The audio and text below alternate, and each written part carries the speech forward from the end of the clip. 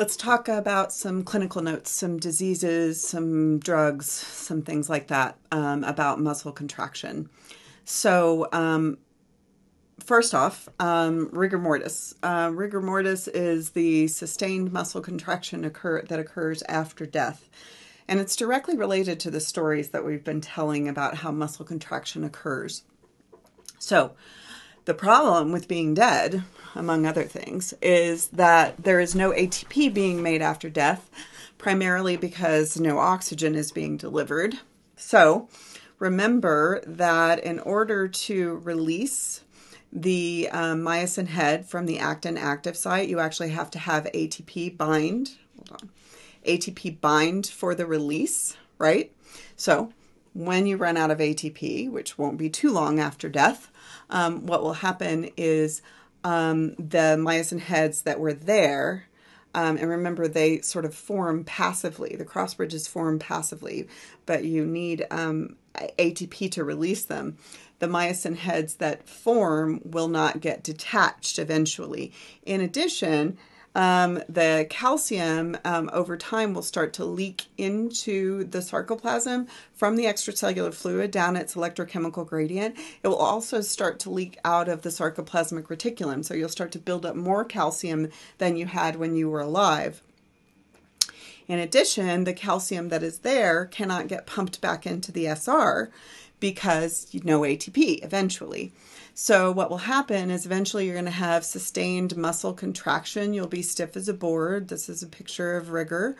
Um, and it's temperature dependent, but generally speaking, it will build up.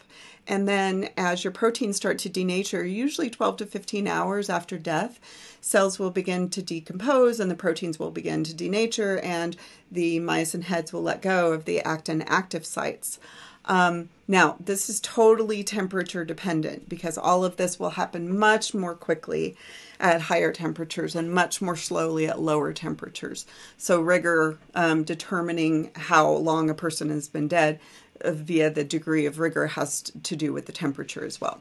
Okay, so now our first communicable disease that is related to muscle is polio, poliomyelitis. Um, it is uh, an in, infectious and really communicable disease, uh, a virus that actually infects and destroys motor neurons. And since it infects and destroys motor neurons, what you will lose is the ability to do this. You will not be able to stimulate the muscle to contraction. And generally speaking, most neurons are amitotic, so when this occurs, it becomes permanent. So polio was um, all over the world. Um, and people, since the diaphragm is skeletal muscle and you need to change pressure to get air to move in and out of the respiratory system, sometimes people were in iron lungs because of the paralysis of the diaphragm. There was lots of limb paralysis associated with polio. And then um, a vaccine was developed and was not used for profit and was generously uh, disseminated throughout the world, and now wild polio um, is mostly eradicated, not completely eradicated in the world. It still pops up in a couple of little places, but um, there was a really, really effective vaccination campaign, um, and polio is has got some historical significance for the entire world, but also for the United States because one of our presidents actually was partially paralyzed because of polio. Um, it was um, not Teddy Roosevelt, but Franklin, FDR. Um, and again, this dude I think is so. I just think he would be fantastic to hang out with. This is polio vaccinate and 0.0. Now that's funny. Um, okay. Um, cramps, not really a disorder, but it's related to this. Um, when action potentials fire faster than normal on motor neurons, then they will cause more contraction than they intended to do. Um, this is often due to an ion imbalance. It could be sodium, it could be calcium, it could be potassium, and it causes involuntary tetanic contractions. And sometimes, if you'll eat a banana, drink a glass of milk, you won't know why it went away, but it will. Okay, so muscular dystrophy is next. Muscular dystrophy. Most forms of muscular dystrophy are X linked recessive. Um, it's a genetic disease. Um, most of the time, it is a mutation on the X chromosome. And since, of course, um, females have two X chromosomes, um, you are probably not going to manifest muscular dystrophy, but males will manifest everything on their X chromosome. So it causes a progressive degeneration of skeletal and cardiac muscle fibers um, because there's a weakness in the cytoskeletal protein. And as you're pulling on them to make them contract, it will start to break down the cytoskeletal protein.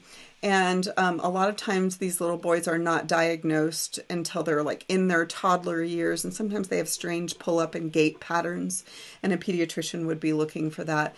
And then it progressively um, degenerates your skeletal muscle and cardiac muscle. And sometimes the kids don't live to adulthood, and sometimes they do. Um, there's some treatments that you can do right now, some genetic therapies that they can do right now. But exercise definitely does not help the situation.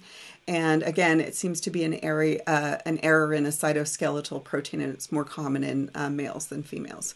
Okay, and um, that is genetic. Um, myasthenia gravis is next, and this is an autoimmune disease. And what happens with this autoimmune disease is you got infected with something, don't know what, and the antibody that you made to whatever the thing was ends up um, destroying your motor end plates or destroying your ability to stimulate your motor end plates. And so you can't depolarize. And what you end up getting is you get what's called flaccid paralysis. A lot of times it occurs in the face and you get the drooping of the eyelids, but it's an autoimmune disease and you can go into remission and then it can show up in the arms or the legs. It can change your voice, cause swallowing difficulty. And like all autoimmune diseases, there really isn't a cure, but people can go into remission with myasthenia gravis. Basically, your acetylcholine receptors just completely stop working. Um, and okay, so next is tetanus. So um, tetanus is um, a pathogen, and with the pathogen, what occurs? It's it's a, a bacterium called Clostridium tetani. It's a very common, ubiquitous soil bacterium. And when you get this soil bacterium in anaerobic conditions, it produces a toxin. So a wound that is deep and closes on itself could potentially have the pathogen and then close on itself so there's no oxygen. Those are the types of wounds that increase the likelihood of tetanus. Now, your mom told you you get tetanus by stepping on a rusty nail. Doesn't have to be a nail, doesn't have to be rusty. But that deep wound is more likely to cause tetanus. Um, and it produces a neurotoxin. Now, the deal is once it produces the neurotoxin, um, for instance, killing off the pathogen doesn't particularly help because the toxin is circulating in your bloodstream. So you actually have to have the antitoxin, or you could choose to vaccinate. And so this is a picture of the muscular contraction that occurs with tetanus, and sometimes it's called lockjaw. So it's the opposite of myasthenia gravis. That produces a flaccid paralysis in which you can't contract the muscle, and this produces what we call a spastic paralysis. And it's pretty quickly deadly um, unless intervention occurs. This is another spastic paralysis with a child. This is something that you can easily vaccinate against. You do need booster vaccines every once in a while, and since you guys are going into healthcare, you will be vaccinated against tetanus. Okay, botulism, same genus, different species of uh, kind of a pathogen, I guess. It's a bacterium. This is what's often contracted from improperly canned foods. So, um, same kind of story. The bacterium um, is relatively common, and when it gets into anaerobic conditions, it produces a toxin as well as a neurotoxin. And what happens is this actually causes flaccid paralysis. And when um, you take in the Clostridium botulinum, usually indicated by, um, so when you are home canning foods, you're supposed to boil boil the heck out of the lid and boil the heck out of the jar before you actually create a vacuum. If you skipped a couple steps or you weren't paying attention to what you did, then the bacterium could still be living when you create the path when you create the vacuum. And then indication of a living bacterium might be that a little extra carbon dioxide was produced in the can or the jar. And so you get the dimple popping up on the top of the can or the jar that's malformed. And when you open it, it hisses at you. Shouldn't hiss at you. Um, that is an indication, not necessarily that Clostridium botulinum is in there, but something is in there and was still alive.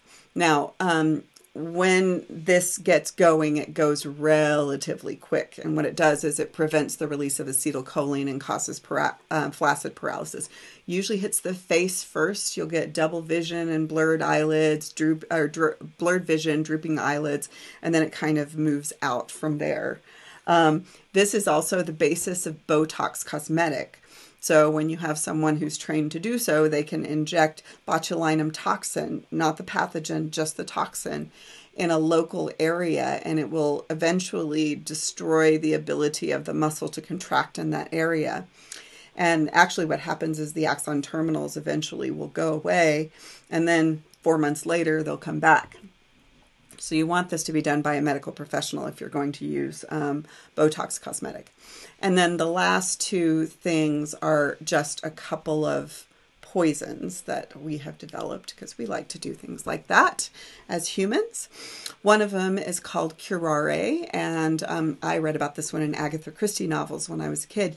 Um, what curare does is it is um, a South American derivative, I think Amazon area. I'm terrible at geography, but um, South American derivative from plant, okay? And um, it was used in blow darts and arrows and those kinds of things. And what it does is it blocks the receptors on the sarcolemma. So it blocks acetylcholine receptors. And since it blocks the receptors on the sarcolemma, you don't get any depolarization. And then um, it will cause asphyxiation because of paralysis of the diaphragm. So if you were trying to eat a monkey out of the tree and you want to climb the tree, um, thunk, and then wait for the monkey to fall out of the tree, and then you can eat the monkey, especially since this doesn't have a very long half life. So, of course, people have used it to kill each other as well. Um, and then the last um, chemical is um, some nerve gases, some of these that the United States developed first, including sarin gas. I don't know if you've heard about sarin gas, and also some pesticides. They weren't designed to do this to humans, but to pests. What they actually do is they actually inhibit acetylcholine esterase. So acetylcholine can't get out of the synapse. And when acetylcholine can't get out of the synapse, instead of this muscle not being able to contract, it can't relax.